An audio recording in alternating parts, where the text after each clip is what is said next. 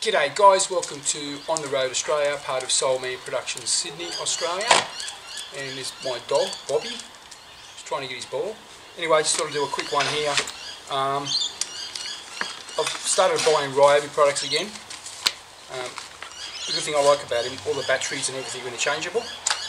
So, 18 volts, lawnmower 32 volts, got my blower, works like a treat, that's 18 volts, 18 volt edger, and there's some of the other batteries, got a whole heap.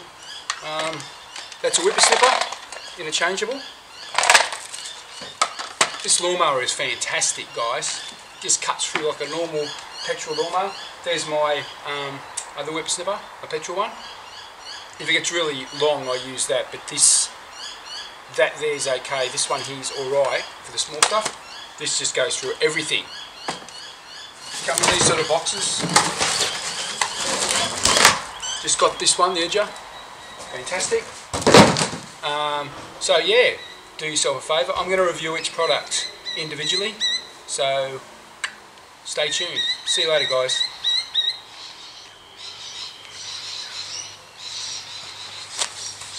I'm not getting paid to endorse these products from anybody, Ryobi or anybody. See you later.